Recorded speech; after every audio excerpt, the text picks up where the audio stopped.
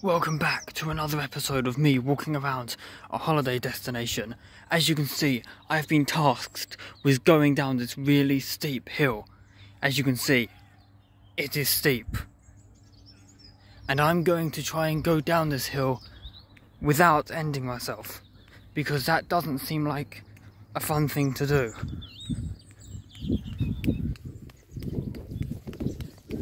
As you can see, I am clearly an expert in this line of work, as I have not injured myself yet. I have basically made it to the bottom, but now I must hide, as there are people, and people are my biggest weakness in society.